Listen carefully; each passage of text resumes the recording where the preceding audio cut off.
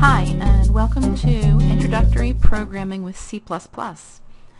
In this video lecture, I'm going to show you how to create your first C++ program using the Dev C++ IDE.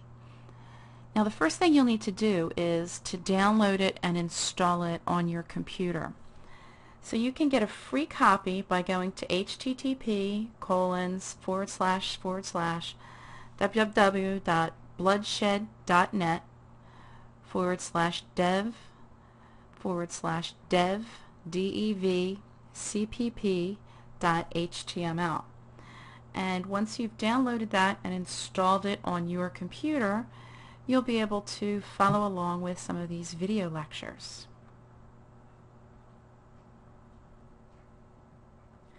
Okay, so assuming now that you have the Dev C++ program installed, we can get started. The first thing you're going to do is to create a new source file. So in the menu you're going to go to File, New, Source File. And you can see this is something that you'll probably do a lot, so keyboard shortcut you might want to remember is Control N.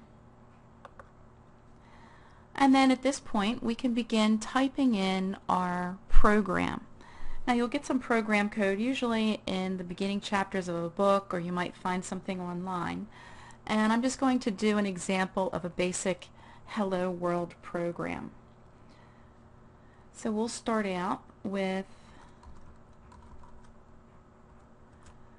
our include and I'm going to do another separate lecture that's going to go through and explain what each of these lines do and what their purpose is in the program.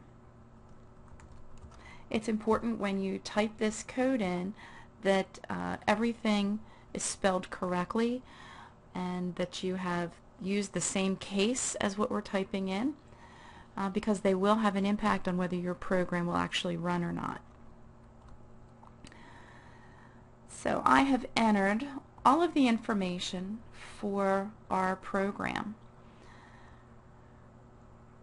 And now before we can uh, compile and run our program we need to save it.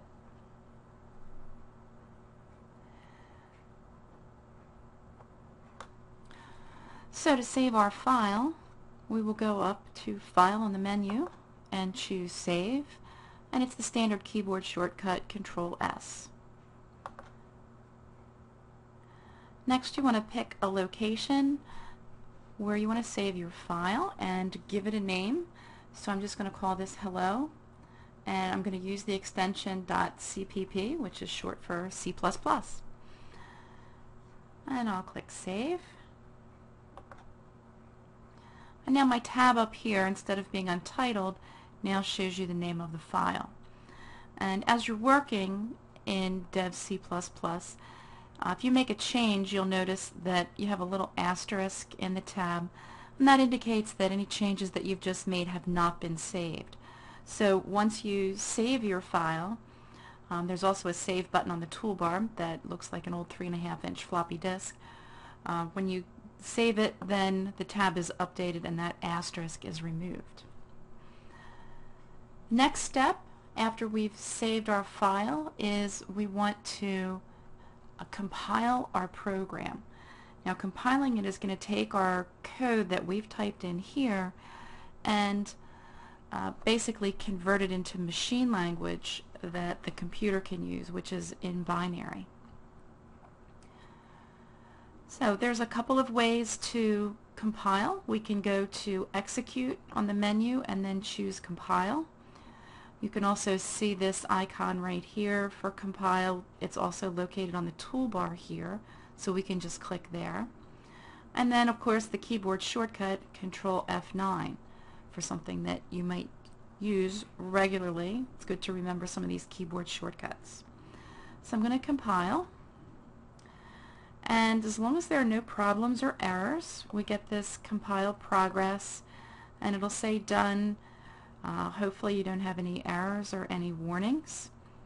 And we'll have another uh, video to show you how to deal with some common problems in fixing your errors. So when you get this uh, progress window, you can just close it.